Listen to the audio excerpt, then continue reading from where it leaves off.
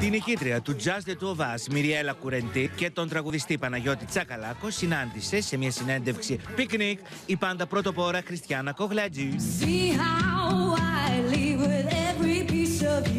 Οι δυο τους μιλούν για το νέο τους συγκρότημα, τους Broken Radio, αλλά και τη συγκατοίκησή τους. Ήθελα σίγουρα να βρω ένα συγκάτοικο και ε, ε, θυμάμαι ότι ήταν πρώτο, πρώτο, πρώτο κιόλας γύρισμα στο Γάμα 4. Γιατί ήταν μια σειρά του Λάκη του Λαζόπουλου που τη γυρίζαμε ένα χρόνο πριν την προβολή της. Και έρχεται ο Παναγιώτης και ανοίγει το στόμα του και αρχίζω να τον αγαπάω από την πρώτη στιγμή.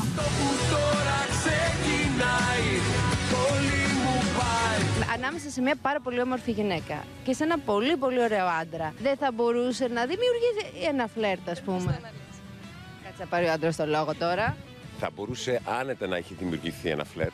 Αλλά επειδή είμαστε και, τα, δι- και, και οι δύο σοβαροί, έχουμε μια σοβαρή πλευρά, τα βάλαμε κάτω και είπαμε: OK, θα είμαστε συγκάτοικοι. Αυτό σημαίνει ότι πρέπει να τα πάμε καλά στη συγκατοικήση και θα, θα μάθουμε να είμαστε σωστά, σωστοί τυπικά. Χίλιες βραδιές θα προσπαθήσω Η Μιριέλα παραδέχεται ότι δεν μπόρεσε να διαχειριστεί τη δημοσιότητα που της απέφερε το Just the Two of Us. Επειδή δεν μπορούσα να διαχειριστώ το θέμα της δημοσιότητας, εμένα μου βγήκε να κλειστώ και να απομονωθώ και να αποτραβηχτώ από όλα αυτά.